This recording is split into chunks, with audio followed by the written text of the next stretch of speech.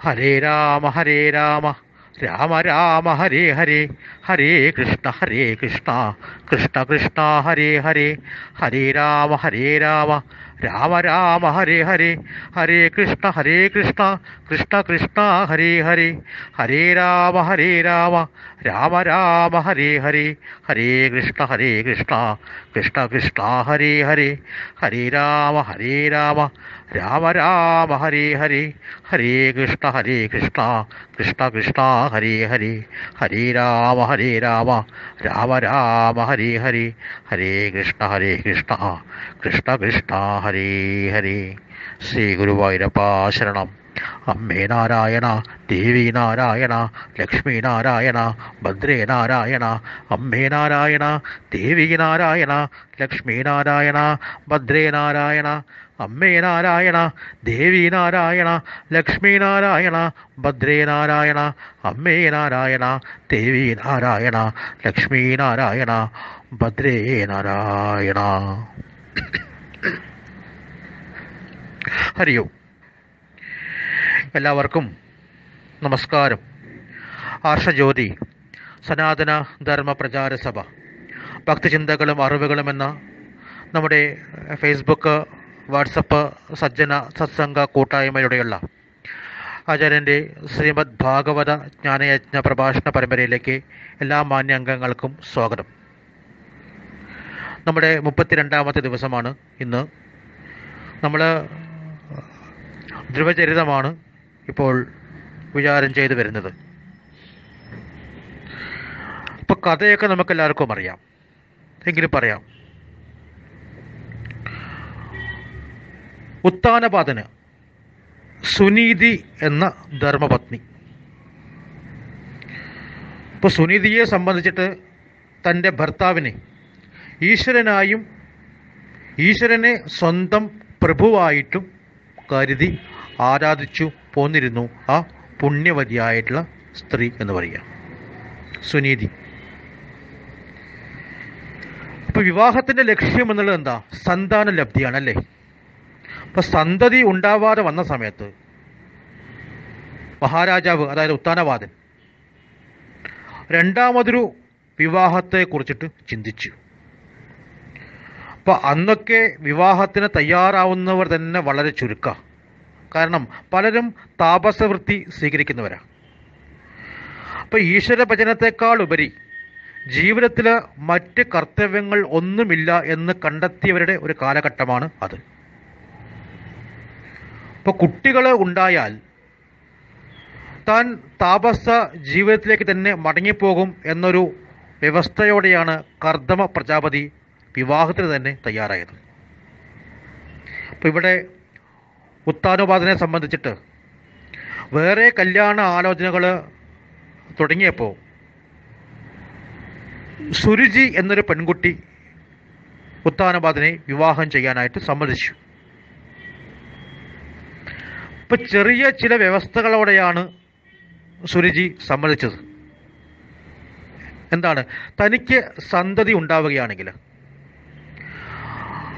ആ കുട്ടിക്ക് മാത്രമേ രാജകുമാര പദവി നൽകാവൂ.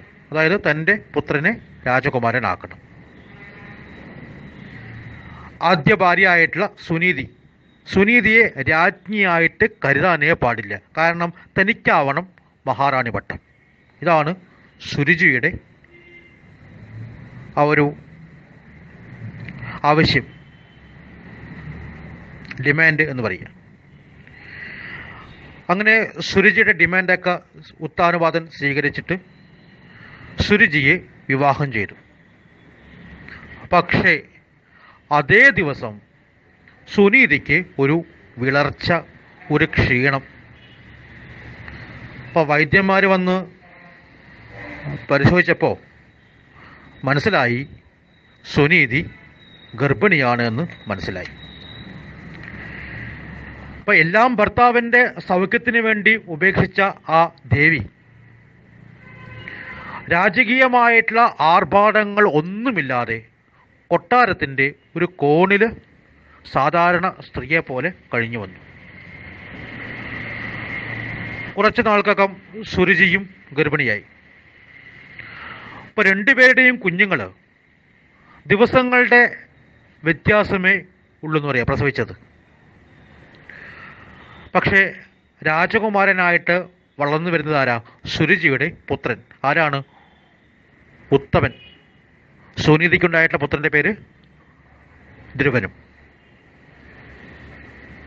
അപ്പോൾ ഉത്തമൻ അതായത് സുരുചിക്കുണ്ടായിട്ടുള്ള പുത്രൻ കൊട്ടാരത്തിൽ രാജകുമാരനെ പോലെ വളർന്നു വന്നു. എന്നാൽ ധ്രുവനോ സാധാരണ എത്രയോ കുട്ടികൾ ഈ ലോകത്ത് ജീവിക്കുന്നു അല്ലേ? അവരിൽ ഒരാളെ പോലെ സാധാരണയായിട്ട് ഒരു സാധാരണ കുട്ടിയായിട്ട് ധ്രുവനും വളർന്നു വന്നു. അപ്പോൾ അവർക്ക് ആകെ ഉള്ളത് ഒരു കട്ടിലും ഒരു മെത്തയും മാത്രമാണ് പക്ഷെ അവിടെ ഒരു ശ്രീകോവിലുണ്ട്. അവിടെ ഈശ്വരാവബോധം ഉണ്ടാക്കുന്ന എത്രയോ ചിത്രങ്ങൾ വെച്ചിട്ടുണ്ട്. അപ്പോൾ കുട്ടിക്ക് അതൊക്കെ കണ്ടിട്ട് അതിലൊരു താല്പര്യം ഉണ്ടായി. കുറച്ച് അറിവൊക്കെ ആയപ്പോഴേക്കും ഉണ്ണികൃഷ്ണന്റെ ആ ഒരു ബാലലീലകളൊക്കെ സുനീതി ധ്രുവന് പറഞ്ഞുകൊടുത്തു ബാലലീലകളുടെ ചിത്രങ്ങളൊക്കെ കാണിച്ചു കൊടുത്തിട്ട് കണ്ണനോടൊരു അഭിനിവേശം ധ്രുവന് സുനീതി ഉണ്ടാക്കി കൊടുത്തു. അപ്പം എന്തെങ്കിലും വിഷമം വരുന്ന സമയത്ത് ഈ ധ്രുവൻ ഓടിപ്പോയിട്ട് ശ്രീലകത്ത് പോയിരിക്കും. എന്നിട്ട് അവിടുത്തെ ഉണ്ണിയെ മടിയിലിരുത്തിയിട്ട് ഓം നമോ ഭഗവതേ വാസുദേവായിട്ടുള്ള എന്ന ആ ഒരു മന്ത്രം ജപിക്കും. സുനീതിയും ഇങ്ങനെ തന്നെ എന്ന് പറയാം. ഇപ്പോൾ ധ്രുവൻ എന്തെങ്കിലും അസുഖം വന്നാൽ ധ്രുവന് ഒരു തുമ്മൽ വന്നാൽ പോലും ചെറിയൊരു ചൂടുണ്ട് എന്ന് തോന്നിയാൽ പോലും ഭഗവാന്റെ നാമം ജപിക്കും. അപ്പോൾ ഉണ്ണിയുടെ അതായത് ധ്രുവന്റെ അവയവങ്ങളിൽ ഓരോന്നിലും സ്പർശിച്ചിട്ട് ഓ നമോ ഭഗവതേ വാസുദേവായ എന്ന ഒരു മന്ത്രം ജപിക്കും എന്ന് പറയുക സുനീതി. പണ്ട് ഗോപികമാരും കൃഷ്ണന്റെ രക്ഷയ്ക്ക് വേണ്ടിയിട്ട് കൃഷ്ണനോട് തന്നെ പ്രാർത്ഥിച്ച പോലെ ഭഗവാനോട് പ്രാർത്ഥിച്ചു കൊണ്ടിരുന്നു അപ്പോൾ ധ്രുവന് ഒരു നാല് നാലര വയസ്സ് ഉള്ളപ്പോഴാണ് ഒരു സംഭവം അവിടെ നടത്തത് എന്താ? ആ സംഭവമാണ് ജീവിതത്തിൽ വലിയൊരു വഴിത്തിരവായത് ധ്രുവനെ സംബന്ധിച്ചിട്ട്. അല്ലേ? അപ്പൊ കൊട്ടാരത്തിലെ രാജകുമാരൻ അതായത് ഉത്തമൻ ഇങ്ങനെ സർവതന്ത്ര സ്വതന്ത്രനായിട്ട് ഇങ്ങനെ തുള്ളിക്കളിച്ച് നടക്കുന്ന സമയത്ത് ധ്രുവൻ താമസിക്കുന്ന ആ ഒരു കൊട്ടാരത്തിനൊരു മൂലയ്ക്ക് എത്തി. അപ്പോഴാണ് തന്റെ സമപ്രായത്തിൽ ഉള്ള ഒരു കുട്ടിയെ ആര് കണ്ടത്? ഉത്തമൻ കണ്ടത്. അപ്പോൾ ധ്രുവനെ കണ്ടതും ഉത്തമനൊരു കൗതുകം തോന്നി. അടുത്ത് ചെന്ന് എന്തെങ്കിലും ചോദിക്കാനോ പറയാനോ ഒക്കെ ഒരു വിഷമം.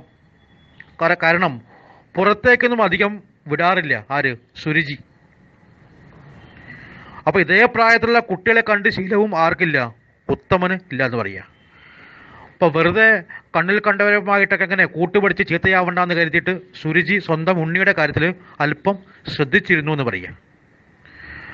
അപ്പോൾ അവൻ വഷളാവാതെ രാജകുമാരനാണെന്നൊരു ബോധത്തോടെ വളർത്തണം എന്ന് നിശ്ചയിച്ചിട്ട് ഈ സുരുചി ഉത്തമനെ ഗംഭീരമായിട്ടൊക്കെ ഒന്ന് അണിയിച്ചൊരുക്കി രാജകീയമായിട്ടുള്ള എല്ലാ ആർഭാടങ്ങളോടും കൂടി ാണ് വളർത്തിയത്. താരാട്ടുപാടി ഭക്ഷണം കൊടുക്കുക പിന്നാലെ നടന്ന് ഓടി കളിക്കുക. അങ്ങനെ വളരെ ശ്രദ്ധാപൂർവം സുരുചി തന്റെ ഉണ്ണിയെ ഉത്തമനെ ശുശ്രൂഷിച്ച് വന്നിരുന്നു. അതുകൊണ്ട് തന്നെ മറ്റു കുട്ടികളെ ഈ ഉത്തമൻ കണ്ടിട്ടേ ഇല്ല എന്ന് പറയുക. അപ്പോൾ കുട്ടികളൊക്കെ നിഷ്കളങ്കരാണല്ലേ? അവർക്കെന്താ? മതമാത്സര്യങ്ങളൊന്നും ആർക്കില്ല. കുട്ടികളെ സംബന്ധിച്ചിട്ട് ഇല്ല. വലിയ ആളുകൾക്കാണ് അതൊക്കെ ഉള്ളത്. അപ്പോൾ ഉത്തമൻ സൂക്ഷിച്ചു നോക്കിയ സമയത്ത് ധ്രുവൻ അവിടെ ഭഗവാനെ സങ്കല്പിച്ചിട്ട് പൂജിച്ചുകൊണ്ടിരിക്കുക. ആ ഭഗവത് പൂജയിൽ ആ ഒരു നിർവൃതി നിന്ന് കണ്ണു തുറന്നു നോക്കിയപ്പോഴാണ് ഏറെക്കുറെ ഉണ്ണികൃഷ്ണനെ പോലെ ഒരു കുട്ടി അടുത്ത് നിൽക്കുന്നു. ആര്? ഉത്തമൻ. അപ്പോൾ ധ്രുവന് ഈ ഉത്തമനെ കണ്ട സമയത്ത് ഉണ്ണിക്കണ്ണനെ പോലെ തന്നെയാണ് തോന്നിയതെന്ന് പറയുക. അപ്പൊ തന്നെ തന്നെ ശ്രദ്ധിച്ചുകൊണ്ട് നിൽക്കുകയാണ് ആര്? ഉത്തമൻ. ഓടിച്ചെന്നിട്ട് ധ്രുവൻ ഉത്തമനെ കെട്ടിപ്പിടിച്ചു. അമ്പാടിക്കണ്ണനെ തന്നെയാണ് താനിപ്പോൾ കാണുന്നത് എന്ന് ധ്രുവൻ വിചാരിച്ചെന്ന് പറയാം. ആ കവിളത്ത് മാറി മാറി ഉമ്മ വെച്ചു കൈകൊണ്ട് മുറുകെ പുണർന്നു. ഇത്രയും സ്നേഹനിർഭരമായൊരു ലാളന ഉത്ത ഉത്തമന് തന്റെ മാതാപിതാക്കളിൽ നിന്ന് പോലും കിട്ടിയിട്ടില്ല എന്ന് പറയാം. ഉത്തമൻ വാസ്തവത്തിൽ അമ്പരന്ന് പോയി. ധ്രുവന്റെ ആ ഒരു സ്നേഹപ്രകടനം കണ്ടിട്ട്. കാരണം അവരെ രണ്ടു പേരിലും ഒരേ രക്തമാണല്ലേ? വല്ലാത്ത സഹോദര്യ ഭാവം അവർക്കുണ്ടെന്ന് പറയുക. ഇപ്പോ ഉത്തമന് ഈ കൂട്ടുകാരൻ വേണം തന്റെ അപ്പം കളിക്കാൻ. ആർക്ക്? ധ്രുവൻ വേണം ഉത്തമന് കളിക്കാനായിട്ട് എന്നൊരു മോഹം അവിടെ ഉണ്ടായി. ഉത്തമൻ ധ്രുവനെ വിളിച്ചു വാ നമുക്ക് കൊട്ടാരത്തിലേക്ക് പോകാം. ഇത് കേട്ടിട്ട് ധ്രുവൻ പറഞ്ഞു അയ്യോ വേണ്ട അമ്മ പറയാറുണ്ട്. അങ്ങനെ കൊട്ടാരത്തിലേക്കൊന്നും പോവരുത് എന്ന്. പക്ഷെ കുട്ടികളല്ലേ? വാ എന്ന് ഉത്തമൻ അങ്ങ് നിർബന്ധിച്ച് വിളിച്ച സമയത്ത് ആ ഒരു മമതാബന്ധം ഉള്ളിൽ തോന്നിയുകൊണ്ട് ധ്രുവനും പിന്നാലെ ചെന്നു. കൊട്ടാരത്തിലെത്തിയിട്ട് ഉത്തമൻ അതിവേഗം കൊട്ടാരത്തിലെ കോണിപ്പടകളൊക്കെ കയറി ആ ഏഴുനില മാളികയുടെ മട്ടിപ്പാവിലിരിക്കുന്ന അച്ഛന്റെ മടിയിൽ ആവേശത്തോടെ കയറി ചെന്നു. എന്നിട്ട് ഉത്തമൻ തന്റെ കൂട്ടുകാരനായിട്ടുള്ള ധ്രുവനെ വിളിച്ചു. ധ്രുവൻ ആ മഹാരാജാവിനെ തന്നെ ഇങ്ങനെ നോക്കിക്കൊണ്ട് നിൽക്കുക. കാരണം ഇങ്ങനൊരു മഹാപുരുഷനെ കണ്ടിട്ടേ ഇല്ല. ആ ഒരു തേജസ് ആ ഒരു യോഗ്യത. പക്ഷേ അങ്ങോട്ട് കടക്കാൻ ഭാവിച്ചപ്പോഴേക്കും വാതിൽക്കൽ ഒരു സ്ത്രീ അത് കണ്ടിട്ട് ധ്രുവൻ ഒന്ന് അമ്പരുന്നു. ഒരു ചെറിയൊരു പരിചയക്കേട്. ചെറിയൊരു വിഷമത്തോട് കൂടിയിട്ട് ധ്രുവൻ ഒന്ന് മാറി നിന്നു എന്ന് പറയുക. എന്നിട്ട് ചിരിച്ചിട്ട് അച്ഛന്റെ മടിയിലേക്ക് കയറിയിരിക്കാനായിട്ട് ഭാവിച്ച സമയത്ത് സുരുചി കോപം കൊണ്ട് തുള്ളി എന്ന് പറയുക. അല്ല എങ്ങടാ ഉണ്ണിക്കുട്ടൻ പോണേ? എന്ന് ചോദിച്ചു. അല്ല മടിയിലിരിക്കാൻ പോവുക അപ്പൊ നിനക്ക് വല്ല ഉണ്ടോ ചെന്ന് മടിയിലിരിക്കാൻ? അപ്പോൾ ധ്രുവൻ പറഞ്ഞു ഉവ് അപ്പോൾ സുരജി പറഞ്ഞു എന്നാ ഒരു കാര്യം ചെയ്യൂ. കാട്ടിൽ പോയിട്ട് തപസ് ചെയ്തിട്ട് ഈശ്വരനെ പ്രത്യക്ഷപ്പെടുത്ത് എന്നിട്ട് ഈശ്വരൻ ചോദിക്കും എന്ത് വരമാണ് വേണ്ടതെന്ന് ഉണ്ണിയോട് ചോദിക്കും. അപ്പോൾ ഈശ്വരനോട് പറയണം നിനക്ക് ചത്തുപോയിട്ട് ചെറിയമ്മയുടെ മകനായിട്ട് പിറക്കണമെന്ന്. അപ്പോൾ അതെന്തിനാണെന്ന് ചിലപ്പോൾ ഈശ്വരൻ ചോദിക്കും. അപ്പോൾ നീ പറഞ്ഞോ ചെറിയമ്മയുടെ മകനായാലേ അച്ഛന്റെ മടിയിൽ കയറിയിരിക്കാനായിട്ട് പറ്റുമെന്ന്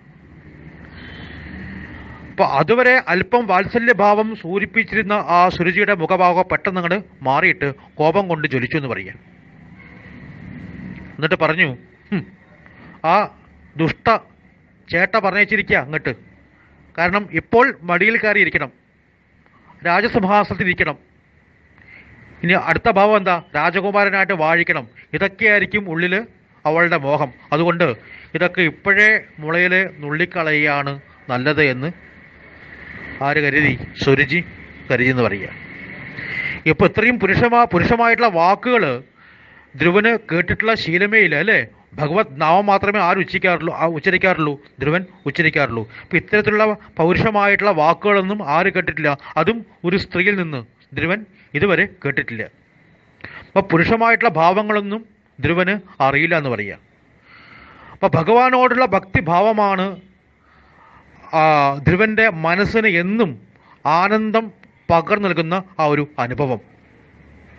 അപ്പോൾ അമ്മയുടെ വാത്സല്യത്തിലും ഭഗവാന്റെ കാരുണ്യത്തിലും മാത്രം വിശ്വസിച്ച് ശീലിച്ച ധ്രുവന് ഇത്തരം ഒരു അനുഭവം ഇത്തരം ഒരു ഭാവം അതും തന്റെ അമ്മയേക്കാൾ കാണാൻ ഒട്ടും ഭംഗി കുറവില്ലാത്തൊരു സ്ത്രീയിൽ നിന്ന് ലഭിച്ച സമയത്ത് ഒന്നും പറയാനായിട്ട് പറ്റുന്നില്ല തിരുവനെ.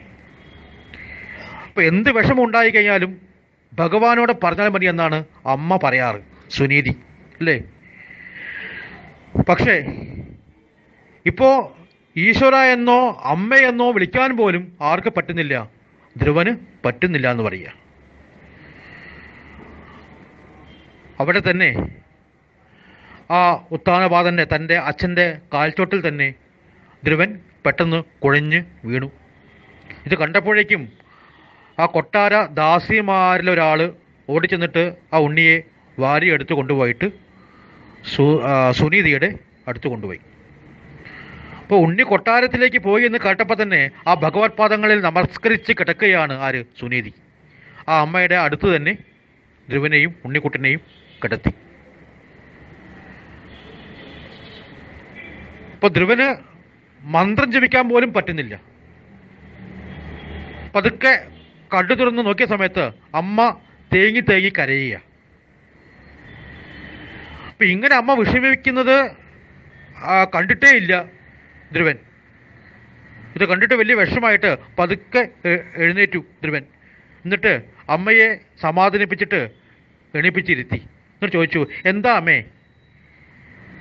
നമ്മളിപ്പോൾ ഭഗവാന്റെ മുമ്പിൽ ഭഗവാന്റെ മുമ്പിൽ ഇരുന്നിട്ടും അമ്മ ഇത്ര വിഷമിക്കുന്നത് ഇതുവരെ കണ്ടിട്ടില്ലല്ലോ. എന്താണ് അമ്മേ? എന്നിട്ട് വാത്സല്യപൂർവം മാതൃവാത്സല്യത്തോടിയിട്ട് അരുത് കേട്ടോ എന്ന് പറഞ്ഞ് അമ്മയുടെ കവളത്തുകൂടി ഒഴുകിയ ആ കണ്ണുനീര് സ്വന്തം കുഞ്ഞ് ചുണ്ടുകൾ കൊണ്ട് ഒപ്പിയെടുത്തു ആര്? ധ്രുവൻ. അമ്മയുടെ കൈകൾ സ്വന്തം കൈകളിൽ എടുത്തിട്ട് ശിരസിലേക്ക് ഒരു അനുഗ്രഹം ഏറ്റുവാങ്ങി. അമ്മേ ഉണ്ണി ഭഗവാനെ ഭജിച്ചിട്ട് തപസ് ചെയ്തിട്ട് പ്രത്യക്ഷമായിട്ട് വേഗം വരാട്ടോ എന്ന് പറഞ്ഞ് ധ്രുവൻ ഒരു ഒരൊറ്റ ഓട്ടം വെച്ച് കൊടുത്തു എന്ന് പറയുക. ഭഗവാനെ തപസ് ചെയ്തിട്ട് ഭഗവാനെ പ്രത്യക്ഷപ്പെടുത്താൻ വേണ്ടിയിട്ട് ആ നാലര വയസ്സായിട്ടുള്ള ആ കുട്ടി സ്വന്തം അമ്മയുടെ കൈകൾ സ്വന്തം അമ്മയുടെ കൈകൾ സ്വന്തം കൈകൊണ്ട് തന്നെ തന്റെ ശിരസിൽ വെച്ചിട്ട് അമ്മയുടെ അനുഗ്രഹം വാങ്ങിയിട്ട് ഇതാ ഭഗവാനെ തപസ് ചെയ്ത് പ്രത്യക്ഷമാക്കിയിട്ട് ഇപ്പൊ വരാട്ടോ എന്ന് പറഞ്ഞ് ഒരു ഓട്ടം വെച്ചു കൊടുത്തു ധ്രുവൻ. ഹരേ കൃഷ്ണ. നമുക്ക് ഈ ഒരു കഥയുടെ ധ്രുവചരിതത്തിന്റെ തുടർന്നുള്ള ഭാഗങ്ങൾ നമുക്ക് വരും ദിവസങ്ങളിൽ ശ്രവിക്കാം. ധ്രുവചരിതം അതിമനോഹരമായിട്ടുള്ളൊരു ഭാഗമാണ്. ഭാഗവതത്തിൽ എത്ര വായിച്ചാലും എത്ര കേട്ടാലും മതിവരാത്ത ഭാഗങ്ങളിൽ ഒന്നാണ് ധ്രുവചരിതം. നമുക്ക് പൂർണമായിട്ടും ഈ ഒരു വേദിയിലൂടെ കേൾക്കാനായിട്ട് ശ്രമിക്കാം. എല്ലാവർക്കും ഹരിയോം.